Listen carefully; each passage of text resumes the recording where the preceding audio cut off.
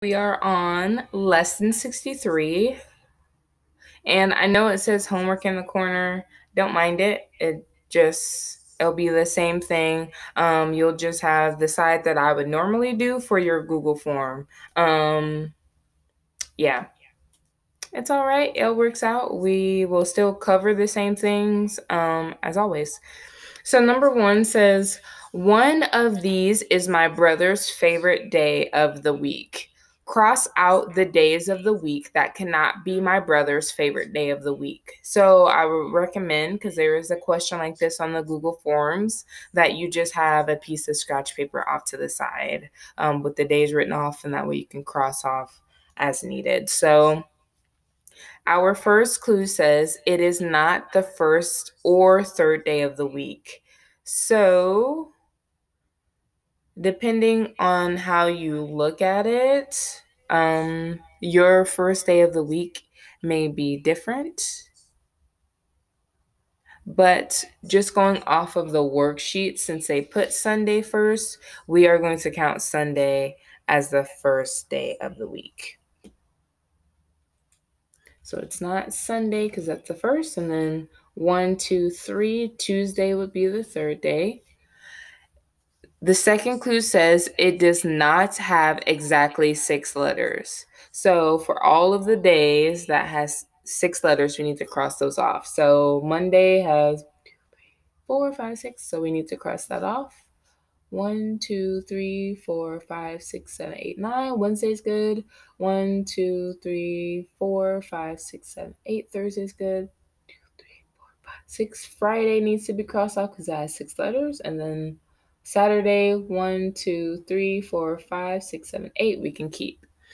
The next clue says it is not the last day of the week. So if we're looking at the format that they have for us on the paper, so starting with Sunday and enter at Saturday, Saturday would technically be the last day of the week. So we need to cross off Saturday. And then it says it is not the day in the middle of the week. So we know that Wednesday is our middle of the weekday. So that leaves Thursday. So our answer is Thursday. Number two says put these numbers in order from least to greatest. So least is the smallest and greatest is the biggest. So from left to right, we need to move smallest to biggest. So looking here, it looks like my smallest number is 51. next one is 54. 56. And then our greatest number, our biggest number is 59. So we have not talked about it too much in class, but our next question deals with angles. So you'll I'll include a quick snippet of a video that kind of goes over what an angle is, but basically it's where our lines meet.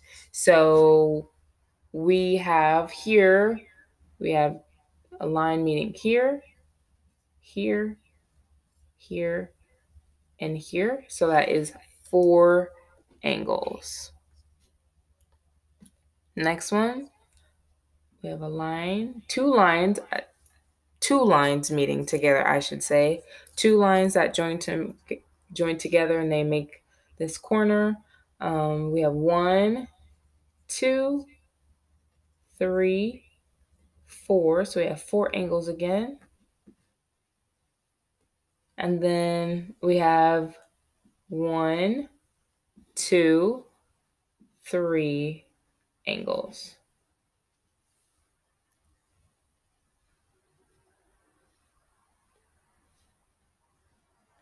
Gonna go up. Number five. So number four, we're gonna skip. It talks about drawing a line of symmetry. Uh, we're not quite into that yet, and we just don't have the. I mean, we do, but it's not of a worry right now. Number five says write the fraction that tells what part of each set is shaded. So remember with our fractions, our number on the top is the number of pieces shaded, and our which is our numerator, and our denominator is how many pieces in the set do we have total. So I'll start with this one. We have one, two, three, four pieces in the set total. So that is our denominator or the number that goes on the bottom. And then on the top, we are writing the number of pieces we have shaded. So that is one. Next one, we have one, two pieces in the set total, our denominator. And then we have one piece that is shaded, which is our numerator. One, two, three pieces in our set total. We have one piece that is shaded. Next one, number six. Write December 5th, 2007 using digits. So using numbers, write that date. You can use a dash or a slash, it doesn't matter. So December is the 12th month of the year. So we're going to write 12. I'll do dash 5 dash 07. Oops. And then our last one, we're just adding all those numbers together. So like the last video, I'm going to find numbers that can I can easily put together to make 10. Our camera's a little blurry here. So we have 4 plus 3 plus 6 plus 2 plus 7. So, so right now I'm going to cross off 4 and 6 because that makes 10. And then I'm going to cross off 3 and 7 because that also makes 10. So right now we have 10 plus 10, and the only number we have left is 2. So I know 10 plus 10 equals 20 plus 2 equals, oops, 22.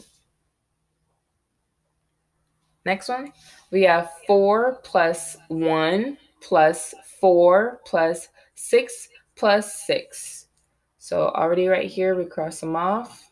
4 plus 6 equals 10. And we have another 4 plus 6 that equals 10. Cross those off. 10 plus 10, we just said, equals 20. And we have 1 left, so 20 plus 1 equals 21. All right. That is lesson 63. If you have any questions, just let me know.